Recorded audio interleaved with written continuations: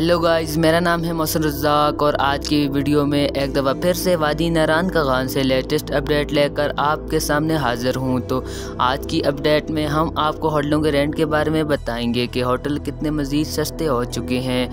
और फ़ी कमरा आपको किस तरह मिल सकता है और साथ में आपको वेदर की अपडेट भी देंगे और यहाँ पर रोड की सूरत से आपको आगाह करेंगे। और बहुत सारे लोगों का ये क्वेश्चन होता है कि वादी नारायण खान में बर्फ़बारी कब पड़ने वाली है और कहाँ तक पड़ चुकी है तो इसके बारे में भी आपको अपडेट देंगे। तो स्टार्ट करते हैं अपनी वीडियो को।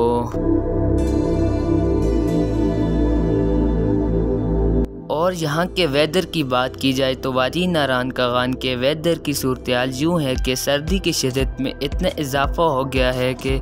स्वेटर और कंबल के बगैर बाहर निकलना नामुमकिन हो गया है और इसी तरह सर्दी की शिदत में इजाफा होने के साथ बर्फ़बारी भी करीब आती जा रही है। वादी नारान का गान की अभी तो चोटियों पर बर्फ़बारी पड़ी है और बाबूसा टॉप पर तो हमेशा की तरह अब भी बर्फ़बारी पड़ रही है और अभी मज़ीद वादी नारान का गान में बारिश का सिलसिला सात दिन है और और यूँ तो हम भी नहीं कह सकते कि नारान का गान का वेदर आगे मज़ीद सात दिन ख़राब है, लेकिन गूगल का वेदर जो भी बताता है, वादी नारान का गान में वेदर उस सूरत हाल में नहीं होता, क्योंकि नारान का गान का मौसम काफ़ी अजीब है और यहाँ के मौसम की कंडीशन ठीक तरीके से नहीं जान सका है और साथ में आपको अभी होटलों के रेंट के बारे में बताएँगे। हमेशा की तरह मैं अभी भी आपको बताता हूँ कि नारायण का गान के होटलों में इतनी कमी आ चुकी है कि आपको फ़ी कमरा जो आपको उस वक्त पैंतालीस सौ रुपये में मिल रहा था, वो अब आपको हज़ार या बारह सौ में मिल सकता है।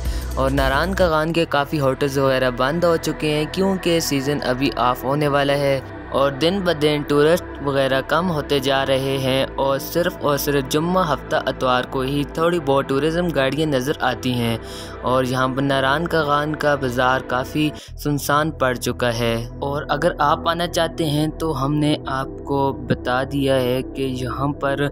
काफ़ी सर्दी हो गई है और कुछ दिन आगे बारिशें वगैरह भी हैं और क्या पता है कि कब बर्फ़बारी भी पड़ जाए तो इन सूरत हाल को देख कर अगर आप आना चाहते हैं तो आप आ सकते हैं। तो आज की वीडियो में इतना ही तो मिलते हैं नेक्स्ट अपडेट में। इतने खुदा हाफिज़।